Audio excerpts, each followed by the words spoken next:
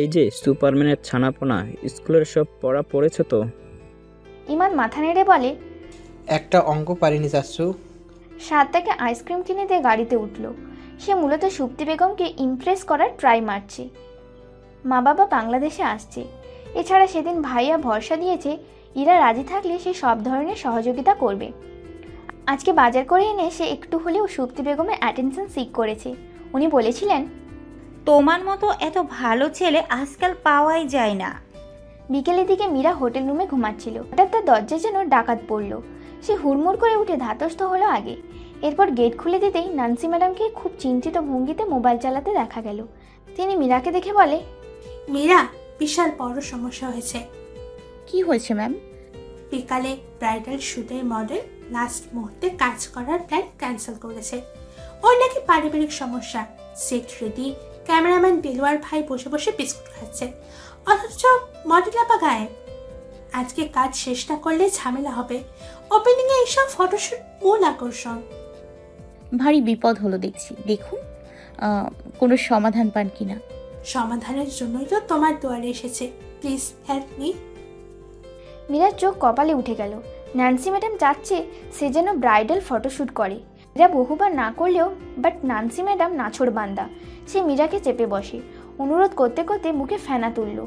অতপর দ্বিতীয়বারের মতো নিজের ডিজাইন করা লেহেঙ্গা পরে সে বধূ সাজে। নিজের দিকে তাকিয়ে সে খানিকটা চমকে যায়। ছয় বছর আগে কোনো এক সন্ধ্যারাতে সে এভাবেই বউ সেজেছিল। ওই দিনের মতো অনুভূতি হচ্ছে।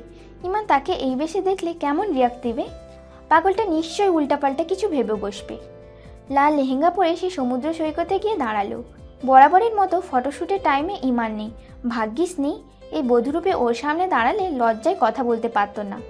ফটোগ্রাফার খটখট শব্দ তুলে ছবি তুলে যাচ্ছেন। অ্যাঙ্গেল অনুযায়ী দাঁড়ানোর স্টাইল ঠিক করার জন্য আরেকজন স্টাফ আছে। সূর্য শেষবেলায় বিদায় জানানোর জন্য প্রস্তুত। সেটা সবার জন্য চা পরিবেশন করা হলো। ন্যান্সি ম্যাডাম চা হাতে নিয়ে বলে দুধ ছাড়া চা আর বর ছাড়া বউ দুইটা কেমন যেন পারছে। মীরা অবাক চোখে বলল মানে ন্যান্সি ম্যাডাম হেসে বলে অপেক্ষা করো নিজে সব বুঝে যাবে। একটু পর ইমানকে আসতে দেখা গেল। সে এই কোম্পানির শিও যখন খুশি আসতে পারে কিন্তু ওর বেশভূষা দেখে মীরার মাথা ঘুরাচ্ছে। পরে যেতে গিয়েও সামলে নেয় নিজেকে। অ্যাশ রঙের তার ডিজাইন করা শেরওয়ানি পরে সে বর সেজেছে পাকড়িও মাথায় আছে। ন্যান্সি ম্যাডাম হেসে বলে ব্রাইডাল ফটোশুট আর জামাই নেওয়ার বিষয়টা আমার ভালো লাগে না। কাপল পিকচার দিয়েই ব্রাইডাল শুটের শোভা বাড়ে। এই জন্য হুট করে সিদ্ধান্ত চেঞ্জ করে কাপল শুট করার প্রস্তুতি নিয়েছি। অ্যাজ ইউজুয়াল মেল কোনো মডেল ছিল না। এই জন্যই আমাদের সিনিয়র সাহেব নিজের থেকে শুটটা কভার করতে রাজি হয়েছে। ইমান মীরাকে নিয়ে সমুদ্রের কাছে গিয়ে দাঁড়ায়। ফটোগ্রাফার বলে ভাইয়া আর একটু ক্লোজ হন। আপু ভাইয়ের ঘাড়ে হাত রেখে চোখে চোখ রাখুন। দারুণ আসছে ছবিগুলো।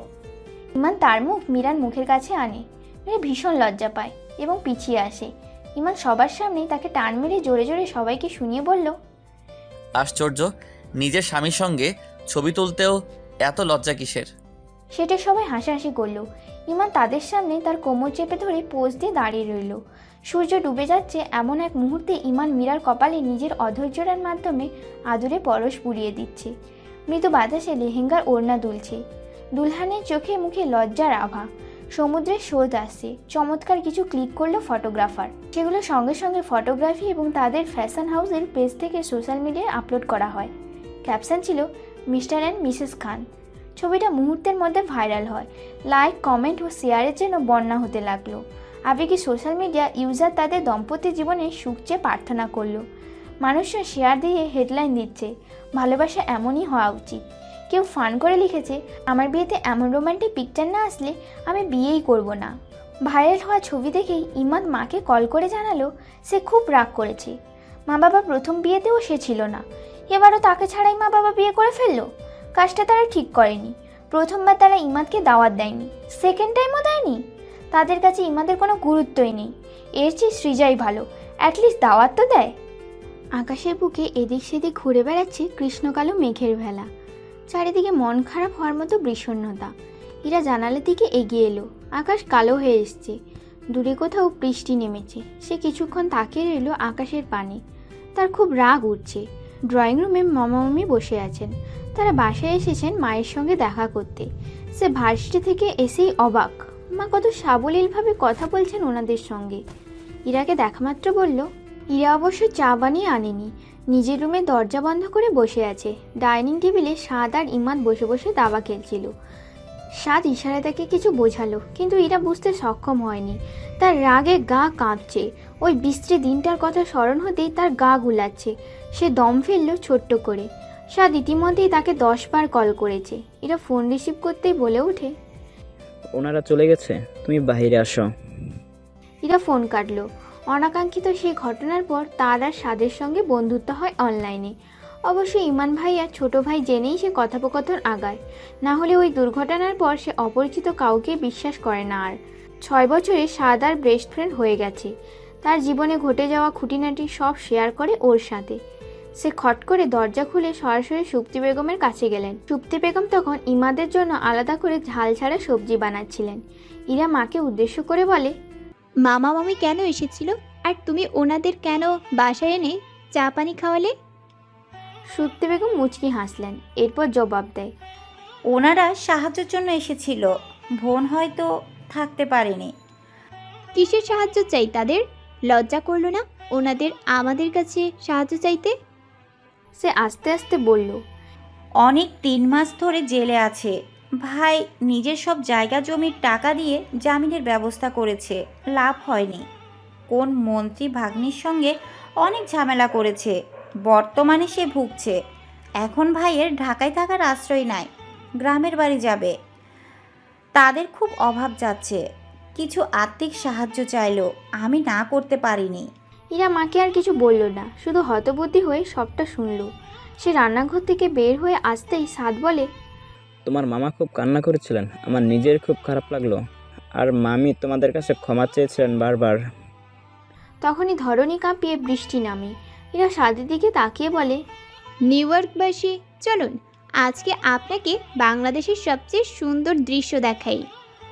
নিজেকে দেখাবো। ইরা হেসে বলে চলো আজ বৃষ্টিতে ভেজি। রাত অবাক হয়ে তাকালো তার দিকে। তারা দুজন সুপ্তি বেগমের চোখে ফাঁকি দিয়ে ছাদে উঠে যায়। ইমাদকে ঘুষস্বরূপ সাত তার ফোন গেম অন করে দিয়েছে। দিন দুনিয়া ভুলে ইমাদ গেম খেলতে ব্যস্ত। একটু পর খাবার নিয়ে সুপ্তি বেগম আসলেন। ইমাদ মোবাইলে গেম খেলতে খেলতে নানির হাতে দুপুরের খাবার খেয়ে নেয়। সুপ্তি বেগম প্রশ্ন করে বাবু তোমার মিমু কোথায়? তোমার চাচুকেও দেখছি না যে? ইমাদ গম্ভীর মুখে স্ক্রিন থেকে চোখ না সরিয়ে বলল জানি না নানিমণি। তারা চুপি চুপি ছাদে উঠে এসে ছাদের দরজা লাগিয়ে দেয়। আকাশ ভেঙে গুঁড়ি গুঁড়ি বৃষ্টি পড়ছে। থেকে থেকে পূর্ব দিক থেকে হিমশীতল বাতাস আসছে। ইরা খোলা ছাদিকে দাঁড়াল। দুহাত মেলে আকাশের দিকে চোখ পুজে ভিজতে লাগল। স্বাদ ও বৃষ্টির তোড়ে ভিজে যাচ্ছে। তবে সে মুগ্ধ নয়নে খুব সম্ভবত বাংলাদেশের সবচেয়ে সুন্দরী মেয়েটাকে চোখ জুড়ে দেখছে। একটা সময় পর সে নিজের দৃষ্টি কেবল ইরার চোখ ও মুখের দিকে রাখল। বৃষ্টির পানিতে কাক ভিজে ওর জবজবে শরীরটার সঙ্গে সুতি সালোয়ার কামিজ লেপটে আছে। যার বুঝি আজ মনে রং লেগেছে? সে হাত মেলে রেখেছে। ছাদে জমে যাওয়া পানিতে পা দিয়ে সামান্য লাভ দিচ্ছে আর গুনগুন করে বাংলা বা হিন্দি গানের এক দু লাইন গাইছে। সাতটার সামনে এসে আলতো করে হাত ধরে বলে, পানির পিপাসা পেলে মানুষ পানি পান করে পিপাসা নিবারণ করে। কিন্তু তুমি আমার মনের এমন এক তৃষ্ণা যেটা মেটানো যাচ্ছে না। আমার চোখের এমন এক পিপাসা তুমি যা থেকে মুক্তি পাচ্ছি না। বরং মন বা চোখ জোরে যতই তোমায় দেখি, ততই তৃষ্ণা বাড়ে। এই তৃষ্ণায় চৌচির আমার মন। চোখ পিপাসায় কাতর। তার দুই গালে নিজের ভেজা হাতে স্পর্শ দেয় সে। এটা শিউরে উঠে তার স্পর্শ পেয়ে। সাত তার গালে স্লাইড করতে করতে বলে